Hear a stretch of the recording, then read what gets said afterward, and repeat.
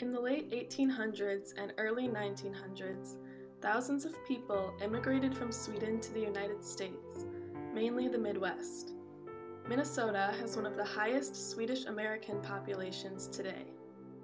My grandmother's grandparents, Otto and Ruth Lindberg, were a part of this influx of Swedish immigrants. They moved from Sweden to Minnesota as teenagers in the early 20th century.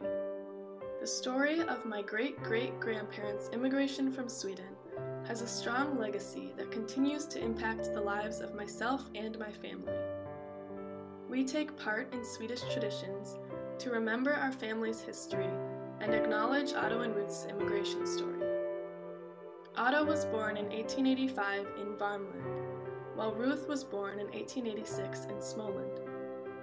They both came to Minnesota in 1904 but they did not know each other before immigrating. They met at the Swedish Tabernacle Church in downtown Minneapolis, where Otto sang in the choir, and they married soon after. Otto and Ruth had two children, including my great grandmother Catherine, who was born in 1920. Although she was born in Minnesota, my great grandmother's Swedish roots were an extremely important part of her life. She grew up speaking Swedish, and everyone in my family called her Mormor, which means grandmother in Swedish. Some of Mormor's extended family on her mother's side still live in Sweden, and she often traveled there to visit them. Mormor was a strong supporter of the American Swedish Institute in Minneapolis, and one of its rooms is even named after her. My great grandmother was a strong presence in my life until her death in 2012 and she constantly ensured that my family remembered our Swedish culture. The emphasis that she placed on our heritage lives on in her children, grandchildren, and great grandchildren. As Mormor got older, Swedish customs became even more important for her as a way to acknowledge our family's history. One of the most significant traditions that she started in my family was celebrating Santa Lucia Day which is a traditional Scandinavian event. Typically celebrated on December 13th, Santa Lucia Day commemorates the Saint Lucia, who was killed in the year 304 because of her Christian beliefs.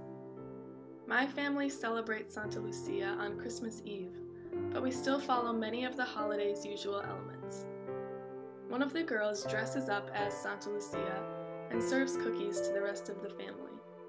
We also sing the traditional song and read the story of St. Lucia. This tradition allows my family to remember our Swedish heritage and feel a sense of connection with our ancestors who immigrated from Sweden. My family's history is an important part of my life because it has shaped who I am today. Being aware of my ancestry and participating in Swedish traditions allows me and my family to honor Otto and Ruth's story and my great grandmother's commitment to keeping their legacy alive. Overall, my great great grandparents' immigration from Sweden to Minnesota in the early 1900s has a significant impact on the lives of my family and myself today.